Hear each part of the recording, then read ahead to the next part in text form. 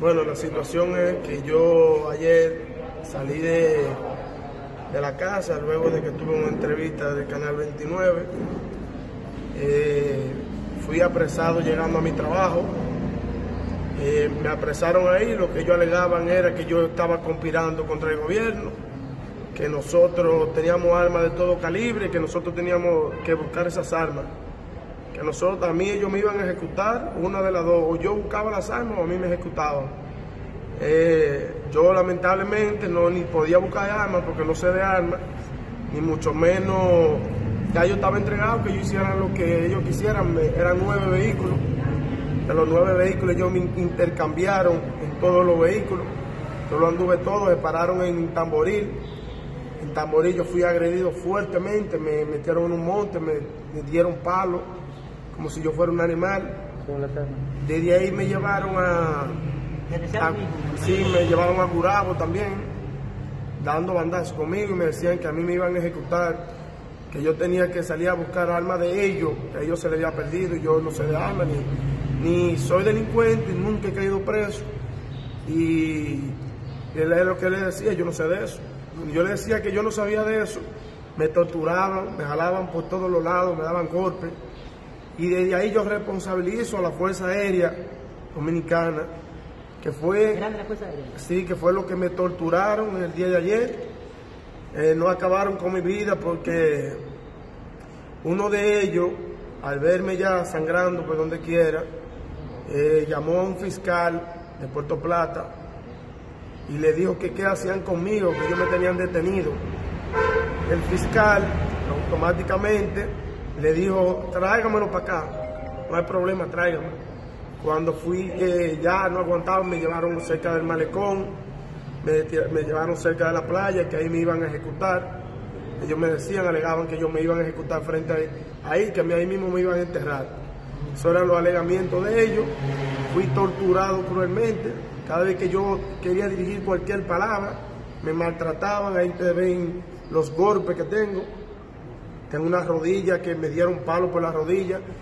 Lo que ellos hacían era que en un palo que cargaban de hacha, envolvían un trapo y con el palo me daban para no dejarme moretones. Cuando yo vi esa acción fue que yo me di cuenta que ellos lo que me estaba, ellos no me querían matar. Ellos lo que querían era como amedrentarme y que yo me apartara del camino de la lucha. Pero que decirle claro a ellos que ellos están muy equivocados. Yo soy de la persona que voy a morir de pie, voy a morir luchando por mi comunidad, luchando por mi pueblo, y si lo que ellos quieren asesinarme, yo estoy dispuesto a que ellos lo hagan, pero que lo hagan por, por encima del pueblo. Yo me le debo al pueblo, ni me le debo a políticos, ni me le debo a nadie. Ellos también, te- que supuestamente acusaron que te acusaron del, del, del robo del, del, del, del fusil de, de Puerto No, yo en ningún momento me, me- me hablaron a mí de robo, ni me acusaron. Ellos lo que me decían a mí que yo me iban a torturar para que yo buscara armas que tenían los grupos aquí. Esa era la respuesta que yo le daba, que yo no sabía de eso, que a mí ellos me iban a matar porque yo no sabía de armas. Entonces fui torturado cruelmente por ellos, ahí te debe la muestra. Y nada, decirle eh, al Ministerio Público y a la Policía Nacional que tampoco sabían del hecho, porque cuando fueron la gente de aquí, fueron los muchachos de los grupos, fueron a, a hablar con el general, el general no sabía del caso. Todavía ni el general, el general no, no sabía del caso, el general de Santiago, es, del- de, Puerto Plata, cuando me llevan allá, tampoco sabía. Lo que me dicen es que me, me retiren del cuartel, porque ellos no son responsables a mi, a mi integridad. Entonces allá andaba yo como una bola que no sabía para dónde, me metían por un cuarto, me sacaban para otro, sin hacerme preguntas. Porque gracias a Dios la Policía Nacional no me torturó, no me puso la mano, pero lo que fue la Fuerza Aérea, fui agredido cruelmente por ellos, fui torturado, ustedes ven la muestra, y si ahora estoy vivo, creo que se lo agradezco. ¿Cuántos eran ellos? ellos eran alrededor de 40, 45 hombres, fuertemente armados. Decía que le. A- al fiscal, que fue el que por lo menos, y a, una persona del DICRIN que no me quisieron darme, eh, soltarme al aire libre allá, porque corría por la- mi vida corría peligro.